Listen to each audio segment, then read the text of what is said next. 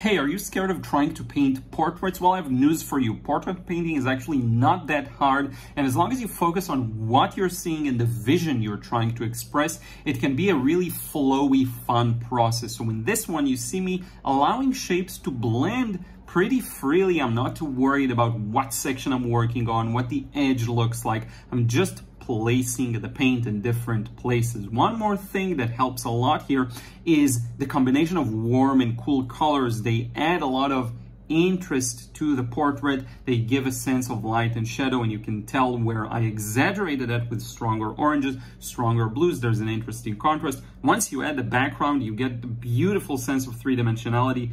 Give it a try. You won't regret it. It's not as hard as you think, I promise.